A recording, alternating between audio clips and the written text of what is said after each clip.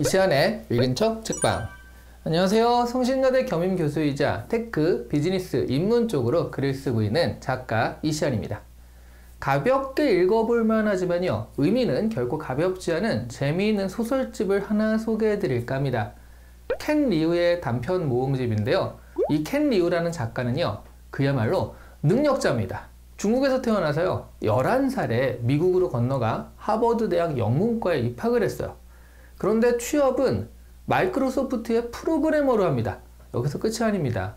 그렇게 일하다가 하버드 로스쿨에 진학해서 변호사가 되고 로펌에서 일해요. 그러면서 소설을 쓰는데요. SF 및 판타지 문학계에서 최고의 권위를 자랑하는 휴고상과 네뷸러상, 세계 환상문학상을 모두 휩쓴 최초의 작가가 됩니다. 이 정도면요. 드라마에서 나오면 와 이거 정말 너무 현실성 없는 캐릭터다 라고 해서 욕먹을 정도의 스펙을 가진 캐릭터거든요. 지금은요 작가로 완전히 자리 잡으면서 낮에는 기술 전문 법률 컨설턴트로 일하고요. 저녁에는 소설을 쓰고 있다고 합니다. 아, 제가 평소와 달리 평소에 이렇게 작가 소개 많이 안 하잖아요. 작가 소개를 이렇게 길게 하는 이유는 부러워서 그래요. 어, 너무 부럽습니다. 아무튼 이 작가의 단편집인데요. 켄 리우죠 어, 표제작이 바로 세 가지 상을 휩쓴 바로 그 작품이에요. 그리고 이 단편집의 제목이기도 하죠. 종이동물원입니다. 단편집이라 여러 작품들이 모여 있어서요. 오늘은 표제작인 종이동물원을 위주로 소개를 해드리고자 합니다. 원래는요, 최근 소설들을 리뷰하면 결말까지 다 얘기하진 않는데요. 이 소설은 종이동물원 외에도 13편의 소설이 더 있으니까 종이동물원 한 편은 그냥 다 이야기해도 될 것 같아요. 줄거리를 듣지 않고 직접 보시고 싶으시다면 줄거리 부분은 skip하셔도 괜찮습니다. 줄거리 부분이 언제 끝나는지는 제가 댓글에 시간 표시를 따로 해놓도록 할게요. 종이동물원의 내용은 이렇습니다. 주인공인 잭은요. 아버지는 백인 미국인이지만 어머니는 중국인인 다문화 가정의 아이였어요. 어머니는 종이접기에 마법처럼 생명을 불어넣을 수 있는 힘을 가졌는데요. 그의 다른 것은 일단 영어로 의사소통이 불가능할 정도로 아이가 기대하는 엄마의 모습을 보여주지는 못했죠. 주인공은 스타워즈 장난감을 가지고 노는 친구의 모습에 비해 종이동물을 가지고 놀아야 하는 자신의 모습에 열등감을 느끼기도 합니다. 어, 사실은 그런데 이런 행동적인 것 이상의 그 안에 정체성의 문제가 있긴 해요. 어머니를 닮은 것도 그리고 중국어를 하는 것도 싫어하는 주인공은 어머니에게 영어가 아니면 나한테 말도 걸지 마! 라고 이렇게 딱 선언을 하고 어머니와 좀 멀어져 가죠. 그러면서 종이동물들도 주인공과 멀어져 가게 됩니다. 나중에 주인공이 커서 어른이 되고요. 어머니는 결국 돌아가시게 되는데 어머니가 돌아가신 후에 종이 호랑이 라호후의 배 안에 쓰여진 자신에게 보내는 편지를 읽을 수가 있었어요.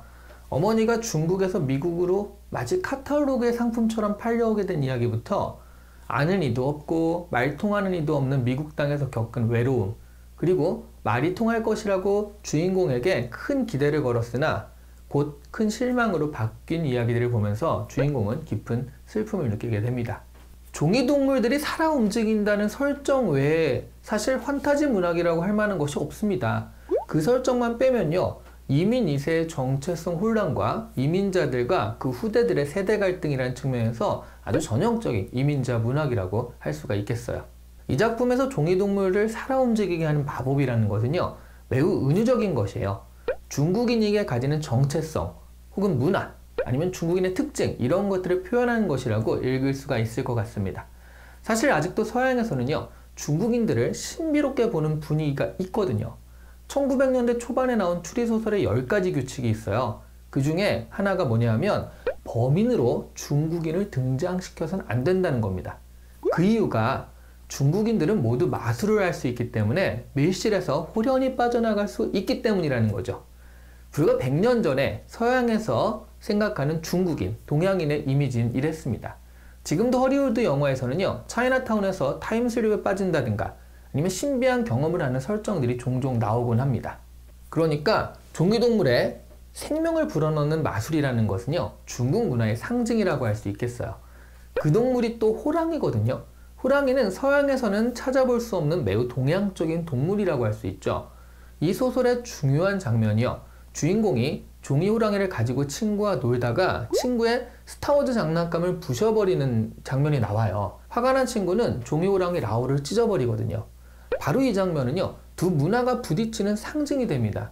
스타워즈는 미국 문화의 아이콘을 넘어 미국 문화 그 자체라고 할 수 있어요. 미국의 건국 신화와 역사가 모두 담겨져 있는 작품이거든요. 그러니까 두 문화의 아이콘이 만나서 종이 호랑이가 찢어지는 일을 계기로 잭은 어머니에게 마음의 문을 닫게 됩니다. 아버지는 잭에게 스타워즈 장난감을 사주죠. 잭이 완벽하게 한쪽 문화에 마음을 닫게 되는 것이에요. 하지만 마지막에 어머니의 편지에 주인공은 무언가를 깨달은 듯 하죠. 아무리 부정해도요, 자신이 두 문화에 걸쳐진 사람일 수밖에 없다는 거예요. 아마 11살의 이민을 간 켄 리우의 자전적인 경험이 녹아있는 것이라고 짐작할 수가 있겠습니다.